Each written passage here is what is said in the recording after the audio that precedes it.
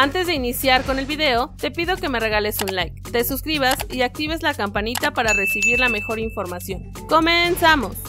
Santos versus Solos en vivo, posibles alineaciones y donde ver por TV el partido de la jornada 11 de la Apertura 2023. Un duelo muy interesante para sus aspiraciones, será el que protagonizarán Santos y Solos en el territorio Santos Modelo este miércoles por la noche en la jornada 11 de la Apertura 2023. El equipo de la comarca necesita sumar de a 3 puntos para escalar posiciones en la tabla y meterse a zona de play-in. Con 11 puntos, los laguneros marchan en el lugar 13 de la clasificación, producto de 3 ganados, 2 empates y 4 derrotas con 15 goles a favor por 19 en contra. Los de Pablo Repeto quieren borrar la mala imagen que dejaron en su último partido en casa, en el que fueron goleados 5 a 2 por el Necaxa en la jornada 9, tienen pendiente su duelo con Rayados de la jornada 10. Es por ello que, si quieren mantenerse en la pelea por un boleto, ya no pueden dejar ir puntos en casa. Solo viene de meterle 5 a 1 a Juárez en la frontera e intentará mantener el paso triunfal con una nueva victoria en calidad de visitante. Con 14 unidades, los de Miguel Herrera se ubican en el lugar número 9 de la clasificación, después de 4 triunfos, 2 empates y 3 tropiezos, con 14 goles a favor por 10 recibidos. Cuando y donde se Juega el Santos versus Solos. Los laguneros reciben a los Solos este miércoles 4 de octubre en el territorio Santos Modelo de Torreón, Coahuila. Horario y donde ver en vivo el Santos versus Solos el partido entre Santos y Solos dará inicio a las 9 y 10 tiempo del centro de México y podrá seguir las acciones en vivo a través de TUN y en Claro Sports tendremos todos los detalles en nuestro minuto a minuto. Alineación probable de Santos, La Jud, Félix Torres, Hugo Rodríguez, Dedos López, Omar Campos, Juan Bruneta, Emerson Rodríguez, Pedro Aquino, Alan Cervantes, Dubán Vergara y Harold Preciado. Alineación probable de Solos Rodríguez, Fernández, Díaz, Balanta, Barbosa, Rivera, Madrigal, Martínez, Rodríguez, Armente y González. Santiago Muñoz compartió que el técnico Pablo Repeto les ha pedido mucha intensidad en los entrenamientos y el jueves tuvieron una muy buena práctica de fútbol. Sentimos el apoyo del cuerpo técnico y nosotros también lo respaldamos, porque todos juntos sacaremos esto adelante, abundó. En lo personal, Muñoz busca sumar minutos sobre el terreno de juego y afirma sentirse contento por la oportunidad que le está brindando el cuerpo técnico de tener minutos y continuidad, así que toca seguir trabajando para de a poco ganar más participación dentro de la cancha. En el último encuentro de los laguneros, Santiago disputó 38 minutos y colaboró con una asistencia.